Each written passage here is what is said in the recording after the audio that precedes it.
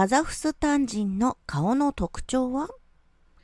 カザフスタンってどんな国？カザフスタンは日本と同じアジアの国だが、現地に住むカザフスタン人にはどんな特徴があり、どのくらいの人口なのかよくわからない。また、日本にどのくらいいるのかなど知らないことも多い。そんなカザフスタン人について紹介しよう。カザフスタン人は日本にもいる。しかしその人数は多くはなく、2018年の時点で400人もいないのだ。カザフスタン人が日本に来る一番の目的は留学で、ついでに家族での滞在となっている。人数としては東京に最も滞在しており、その他の府県でも関東地方に多く滞在している。そんなカザフスタン人だが、カザフスタン人の人口は一時期減少したものの、最近では増加傾向で推移している。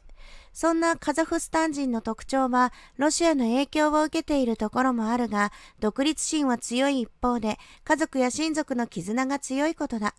これはもともとカザフスタン人が遊牧民だったり、迫害された末にたどり着いたという歴史が大きく影響しているのだ。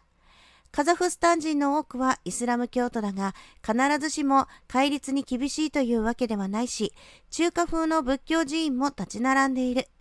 カザフスタン人は人種としては、モンゴロイドを基本にして、コーカソイドが混ざっているとされる。モンゴルの王朝に率いられた人々をルーツに持つと考えられていることから、他のアジア人に近い特徴も持っているのだ。カザフスタン人の顔立ちはモンゴロイドが基本になるので、日本人などアジア系の特徴を色濃く持っている。コーカソイドも混ざっているので、完全なアジア系ではないが、日本人に顔立ちが似ているとよく言われている。これはモンゴロイドというルーツが影響している。そんなカザフスタン人の性格は、自尊心が強く、意見をはっきりと言う人が多い。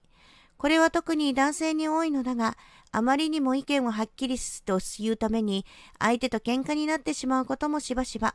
男性は気が強いことが恋愛にも影響している。カザフスタン人は低層観念が強いため、恋愛対象となった女性に対しては一途で、アプローチにも積極的なのだ。一方、カザフスタン人女性は、男性ほど気が強いということはなく、逆にシャイな女性が多いのが特徴だ。カザフスタン人がイスラム教の教えを守っていることも影響している。カザフスタン人女性は人前に出たり、男性に話しかけることに対して消極的。カザフスタン人は女性でも名前に父方のミドルネームが入っているが、これはロシアの影響を受けているためだ。ロシアの影響を強く受けているため、カザフスタン人は英語ではなく、カザフ語とロシア語が公用語となっている。カザフスタン人はモンゴロイドやコーカソイドなどのルーツを持つため美人な女性が多い。モンゴロイドというルーツから顔の作りが日本人女性にも似ているのだ。カザフスタン人と結婚する場合、結婚証明書を日本とカザフスタン双方からもらい手続きをしなければならない。これは結婚するカザフスタン人が日本でビザを習得するために必要な手続きだが、この手続きはプロに相談しながら行うとスムーズ。自分でできないこともないが、プロの方が確実だから。なお結婚したいからといって、カザフスタン人に日本のビザが必ず出るわけではない。収入が安定していないなどの事情があると出ないこともあるので注意したい。日本に滞在している人は少ないが、日本人に近い顔立ちをしているのがカザフスタン人の特徴。男性は気が強く、女性はシャイなので、女性に対しては積極的にアプローチしていこう。